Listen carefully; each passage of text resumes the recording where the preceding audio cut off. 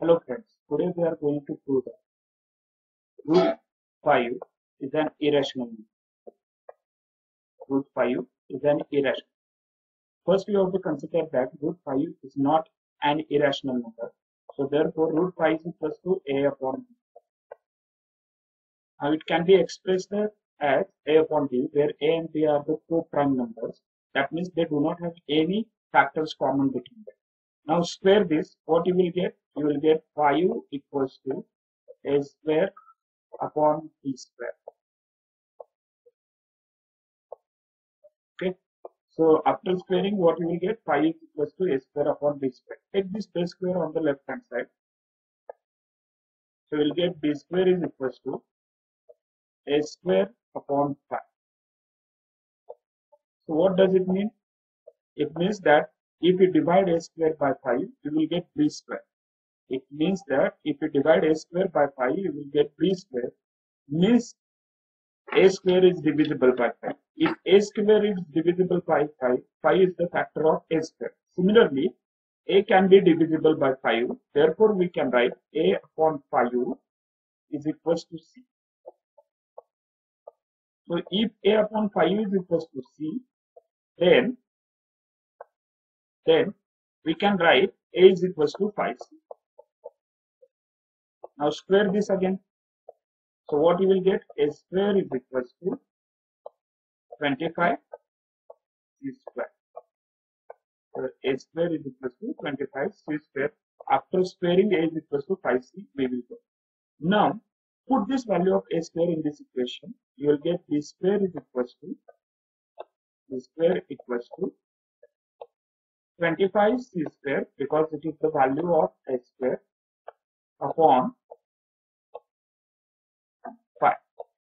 So you will get 5 c square. So you get 5 c square. Means what? The value of b square is equal to 5 c square.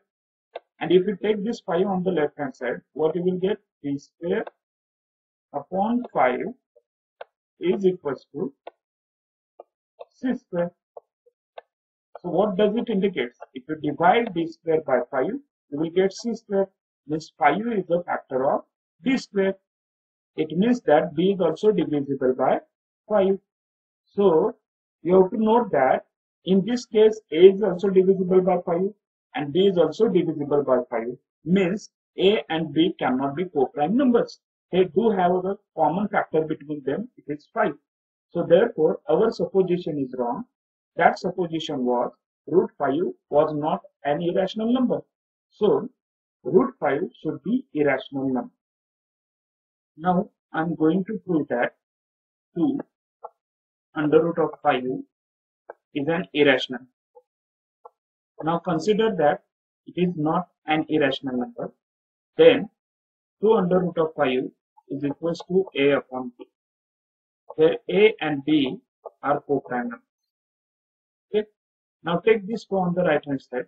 So what you will get under root of 5 equals to A upon 2B. Okay. So root 5 is irrational number, but A upon 2B is not irrational number. So LHS of this equation is irrational number, but the RHS is a rational number.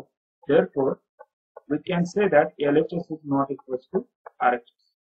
Therefore, our supposition was wrong and 2 root 5 is irrational.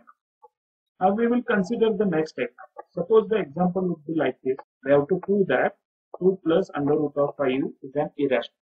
In that case, what you have to do?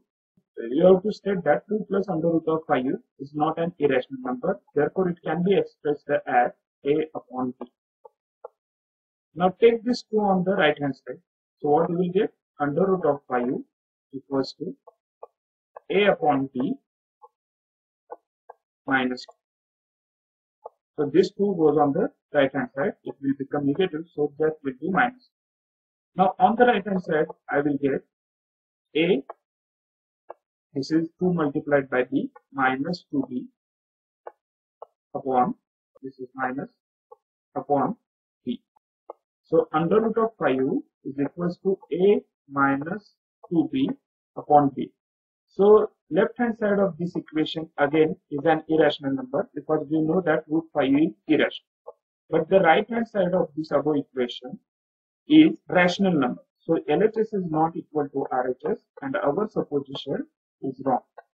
As our supposition is wrong, therefore 2 plus under root of 5 is irrational.